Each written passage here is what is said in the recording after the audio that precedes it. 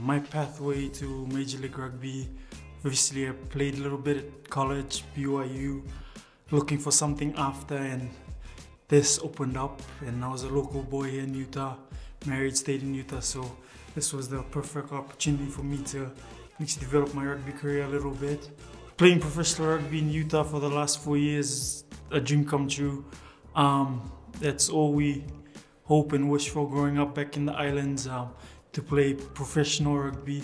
Playing with my brother for the last four years, man, is crazy, both joyful and sad because we both broke our legs um, the first year, but then to see the, uh, the team develop and see each other develop has been great.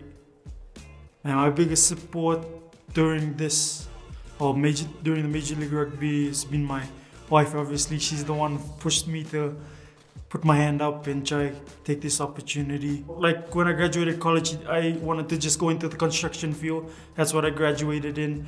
But she was like, maybe you should give rugby a try professionally, see how long you could last. And after that first year, I thought I was done.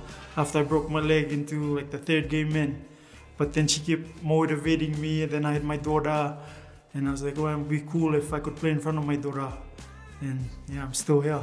The rugby community here in Utah has been huge, especially well at BYU. We had a ton of fans come out support us. Then during the summers, we'd have sevens tournaments and we played a couple sevens national championships that we won and the Utah community has always been there for us and to see them carry on supporting the Warriors has been so good to be honest. It's perfect and now it's like a perfect pathway for all the boys, all the high school kids right now.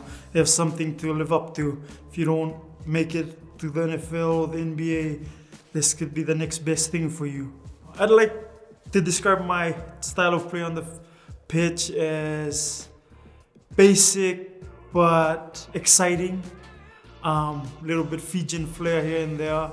Nah, not much the step, but just like the vision you see the numbers where the overlaps are, who to pick on, who to like run around. Or I think the crowd plays a big role in um, getting the team pumped.